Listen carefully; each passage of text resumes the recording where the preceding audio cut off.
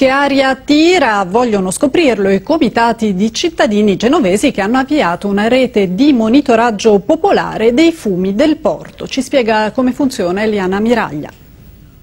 Sul terrazzo dell'abitazione di Filippo c'è una delle centraline della rete di monitoraggio popolare che ha il compito di controllare i fumi del porto, in particolare le concentrazioni di polveri sottili PM10 e ultrasottili PM2,5 emesse dalle navi in sosta nel porto con i motori sempre accesi.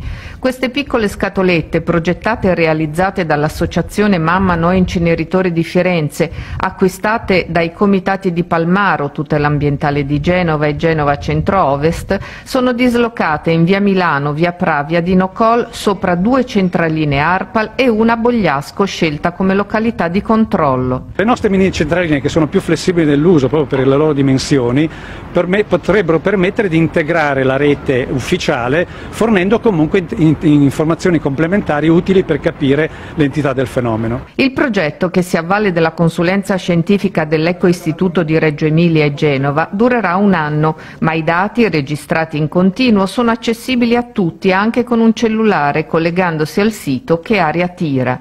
L'obiettivo finale è quello di sensibilizzare i cittadini, le autorità, gli armatori, in attesa dell'elettrificazione delle banchine, la sola soluzione che consentirà alle navi di spegnere i motori quando sono in sosta. Noi ci aspettiamo un 10-15%, insomma non sono cifre importanti, ma dato che le polveri sottili sono pericolose a qualunque concentrazione, anche sotto i limiti di legge, tutto quello che è possibile recuperare ben venga per la salute poi di tutti i cittadini.